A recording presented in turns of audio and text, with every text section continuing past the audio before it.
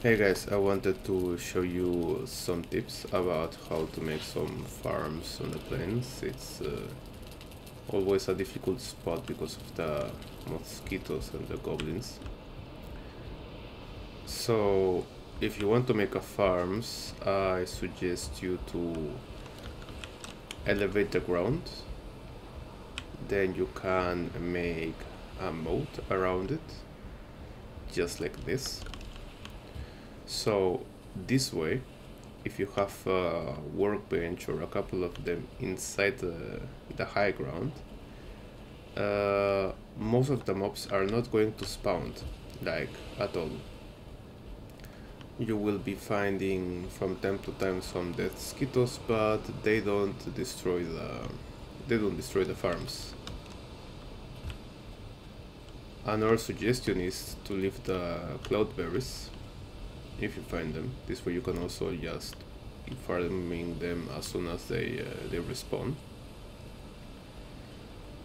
And this is actually pretty pretty efficient. Even if you get raided from time to time, the mobs uh, never come to the high ground where you're having uh, the farms. It takes a bit of time and a lot of stone, depending where you are doing it. But I can assure you that this way, the mobs won't attack you. The goblins, if they are spawning nearby, let's say at the other side, they cannot find a pathway to attack you. And after some time they just lose aggression or they just walk uh, on the moat. But for the most part they will just leave you alone and you won't have any inconvenience. Now, a big tip regarding this, as you might see here, this couple of barleys is showing that it needs uh, space to grow. But as you can see, the rest of the barleys are completely fine. So what this uh, generally means, let me show you, is that below, here somewhere, there is a rock. Now, if you get rid of the rock,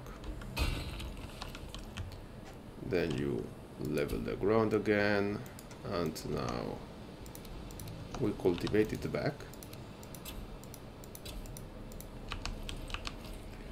You will see that, there we go, they are changing back to green. So after some time, if you find some issues that some of the plants are just uh, not uh, growing or at least not getting back to healthy, this generally means that there is uh, a rock below it. Let's, let's test this one more time. This is one of the new platforms. There we go. You can see the rocks.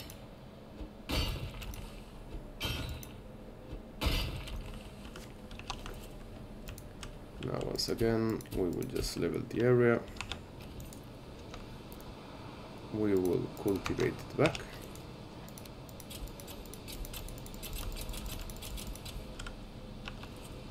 And other plants are going back to green and healthy, as you can see. So that's my tip for uh, farming and good luck guys on your farms. Have a nice day.